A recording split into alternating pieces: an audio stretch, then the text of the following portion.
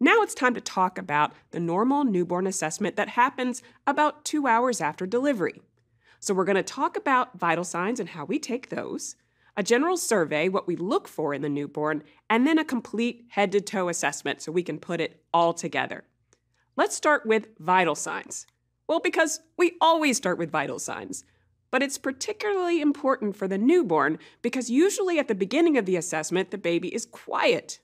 It is really difficult to count respirations and heart rate on a newborn when they're crying. And asking them to hold their breath or stop crying for a few minutes doesn't usually work really well. So if you start on your vital signs before you unwrap the baby, you might actually be able to hear them. Let's start with respirations. So, one thing that's important to remember with a newborn is that their respiratory rate is very irregular. So, you have to count respirations for a full minute. You can't cheat. So, 60 seconds. It's also helpful to listen over the lung field so you can actually hear the respirations. And a normal rate for respirations for a newborn is anywhere between 30 and 60 breaths per minute. So it's a lot of quick counting, and you've got to listen over the lung fields for a full minute. Don't forget. Now, on the next minute, you can also count the heart rate.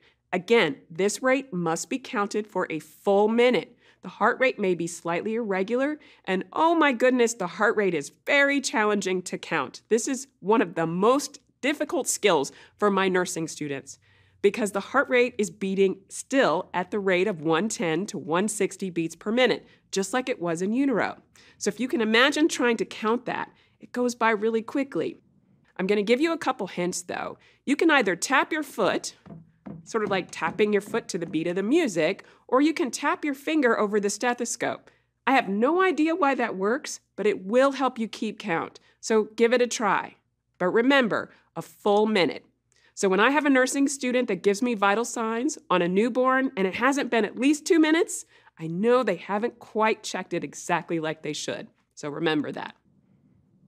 The other thing I want to remind you of when you're checking heart rate is the murmurs. So if you go back and listen to the lecture where we talked about the newborn assessment and we talked about normal fetal circulation and the closure of our ductus and closure of our foramen ovale, now those valves are still going to be moving. So that is going to create a sound and that sound is going to be murmurs. So know that hearing murmurs on a newborn is completely normal. It's what we would expect, but you always want to report it just to make sure that there's not a complication that we're missing. So murmurs are expected, but should be reported.